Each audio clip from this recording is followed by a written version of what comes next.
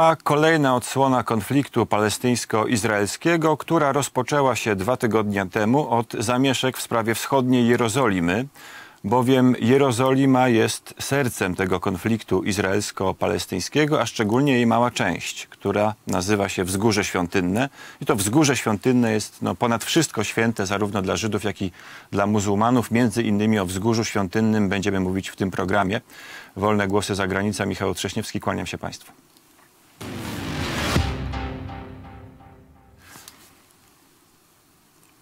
I witam naszego gościa. Jest nim pan Tomasz Terlikowski, dziennikarz od lat związany z Telewizją Republika, a także z innymi mediami. I co ważne, przy okazji tej rozmowy, także przewodnik po Ziemi Świętej. Dzień dobry, panie redaktorze. Dzień dobry, witam serdecznie pana i witam państwa. Na początku pozwolę sobie na taki krótki wstęp, po to, żeby trochę przyspieszyć ten wywód, te, ten nasz dyskurs. Mianowicie, jeżeli chodzi o Jerozolimę, to z punktu widzenia religii dużo ważniejsza jest ta wschodnia część. I wschodnią Jerozolimę Izrael anektował w 1967 roku w wyniku wojny sześciodniowej. Wcześniej ta część Jerozolimy była okupowana przez Jordanię. We wschodniej Jerozolimie znajduje się Stare Miasto, czyli taki kilometr dobrze zachowanych dróg i budynków ze starożytności. Natomiast w Starym Mieście mamy wzgórze świątynne.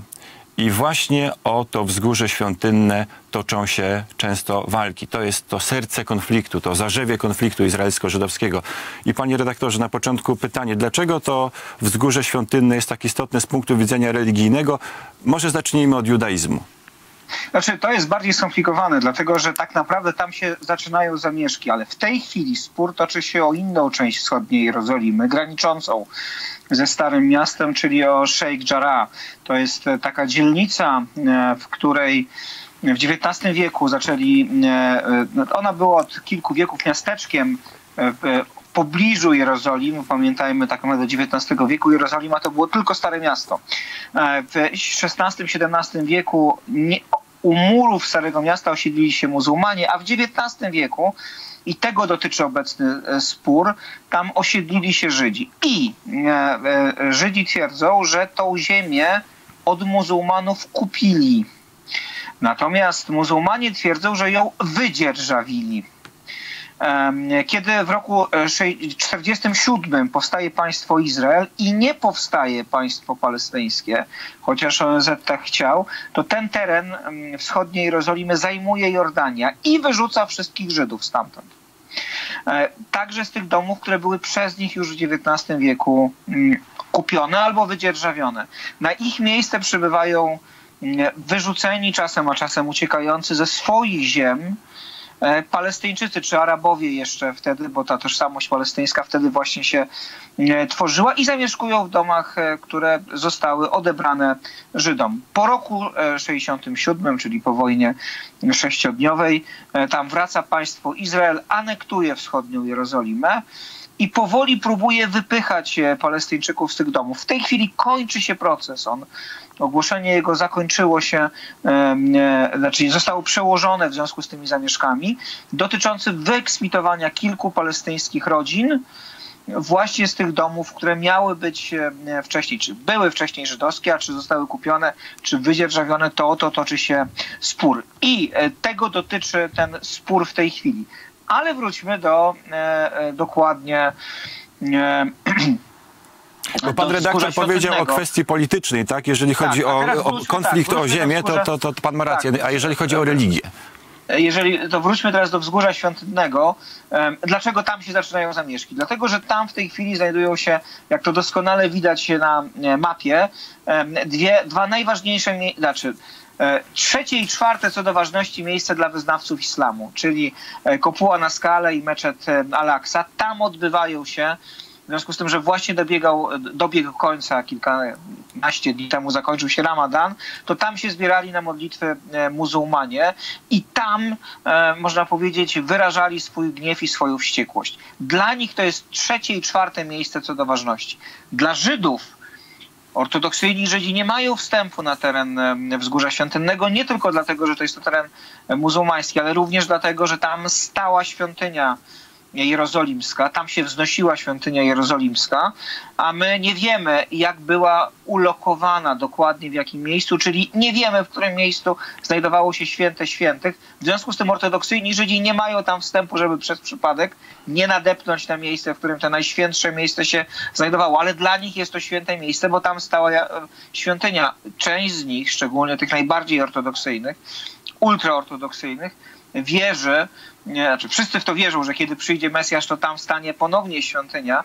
Natomiast ci najbardziej ultraortodoksyjni są przekonani, że trzeba przyspieszyć przyjście Mesjasza przez odbudowę tam e, świątyni. To, co oczywiście oznacza e, zniszczenie e, stojących tam meczetów, które uważa się za no, stojące na ziemi świętej dla Żydów. I z tych powodów to miejsce jest e, szczególnie ważne dla obu tych religii, ale pamiętajmy, Żydzi generalnie poza wojskowymi, poza policją tam nie wchodzą albo wchodzą bardzo rzadko. Oni modlą się u stóp tego miejsca, czyli przy e, murze zachodnim, zwanym również w polskiej tradycji, kiedyś tak było nazywane także w tradycji żydowskiej, ścianą płaczu.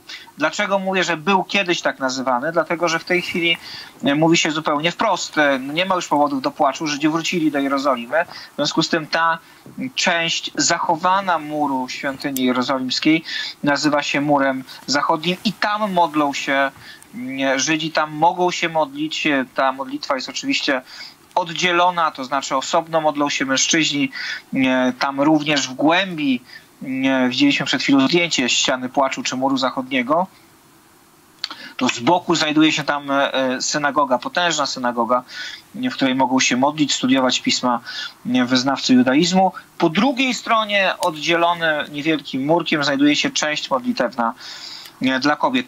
O to miejsce toczy się spór, bo tak jak powiedzieliśmy, e, zarówno religijnie to jest miejsce święte dla muzułmanów i dla Żydów, ale również politycznie, zarówno dla Izraelczyków, zarówno tych religijnych, jak i niereligijnych. Jerozolima jest centrum ich narodowości, jest centrum ich tożsamości narodowej. A Palestyńczycy odpowiadają dla naszej tożsamości palestyńskiej, już nie tylko arabskiej, ale palestyńskiej. Jerozolima jest miastem, które jest miastem fundamentalnym. Bez Jerozolimy nie ma Palestyny. I tego sporu nie da się tak po prostu rozstrzygnąć. Oczywiście ONZ proponował, żeby powołać dwa państwa, a Jerozolima, żeby była miastem wolnym pod e, kontrolą międzynarodową. Ale żadna ze stron w tej chwili, czyli ani strona żydowska, która jest stroną silniejszą w tym sporze, e, politycznym. Zdecydowanie ani strona palestyńska na takie rozwiązania nie chce się zgodzić, bo to jest miasto zarówno religijnie, jak i politycznie dla nich święta. Trzeba pamiętać, Jerozolima jest tym miastem, które właśnie z powodu swojej historii jest miastem bardzo mieszanym. To znaczy niemała część Palestyńczyków mieszka w Jerozolimie i żeby było jeszcze trudniej, oni mają różny status, to znaczy e, część z nich to są obywatele Izraela. Ci, którzy mieszkali e, poza Jerozolimą Wschodnią, e, mieszkali na terenach Izraela do roku 67, to są obywatele Izraela. To są, to są obywatele drugiej kategorii, oczywiście, ale formalnie mają identyczne prawa, to znaczy głosują w wyborach, nie, także w wyborach parlamentarnych, wybierają swoich reprezentantów, mają paszporty, mogą w miarę sposób wolny pracować.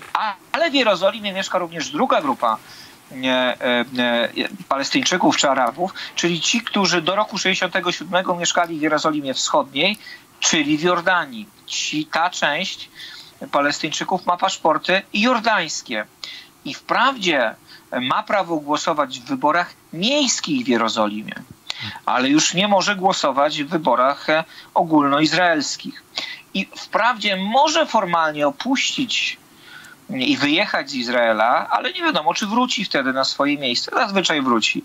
To także jest grupa, która ma więcej praw niż Palestyńczycy mieszkający w autonomii palestyńskiej, nie mówiąc już o strefie gazy, no ale ich prawa są mniejsze. Także o to toczy się spór. A na to wszystko nakłada się jeszcze jeden spór. Ja wiem, że to nie jest temat religijny, ale trzeba o tym pamiętać. Od ponad już roku Izrael jest zamknięty i autonomia palestyńska jest zamknięta dla turystów i dla pielgrzymów. Ogromna większość Palestyńczyków, szczególnie tych e, izraelskich Palestyńczyków żyje z turystyki. To są kierowcy, to są przewodnicy, to są właściciele hoteli, czy pracownicy tych hoteli w różnych miejscach.